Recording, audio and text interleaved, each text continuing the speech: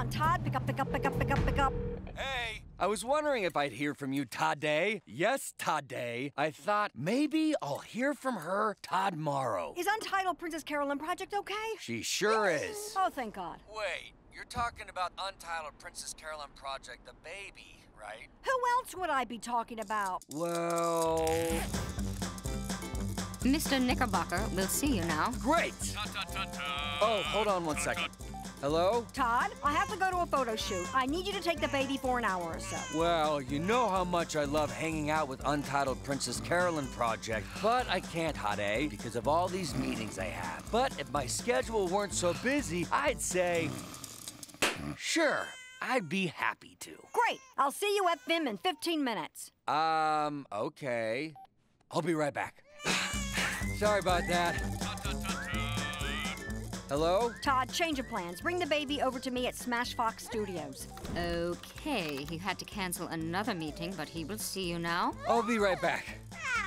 I'm going to level with you, Todd. You making me wait made me angry, and that made me respect you. Sorry, things have just been a little hectic since I've been helping out with Untitled Princess Carolyn Project. Untitled Princess Carolyn Project. I'm intrigued. You think the project has legs? Yeah, she has legs.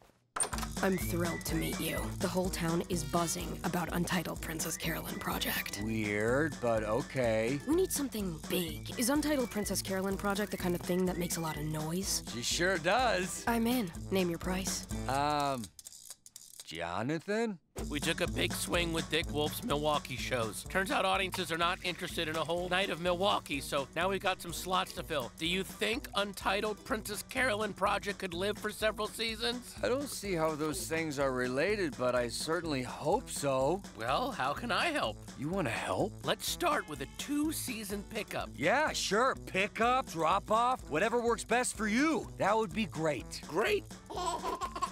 Well, here she is. What time do you want me to pick her up? Wait, it's a baby? And she has legs. Ah. I already canceled Milwaukee Waste Management. I told the shareholders this was gonna save the network. We designed the poster!